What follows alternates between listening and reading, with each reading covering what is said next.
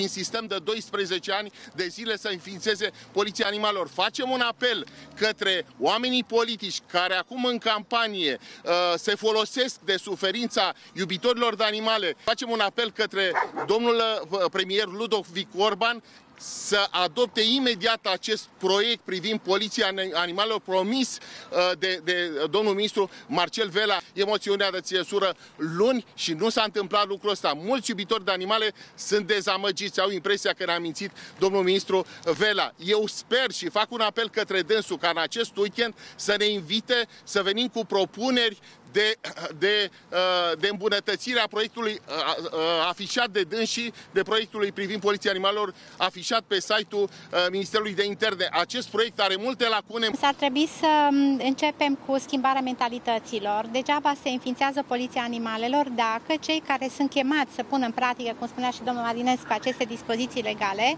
tratează această chestiune în mod administrativ, fără empatie față de animale.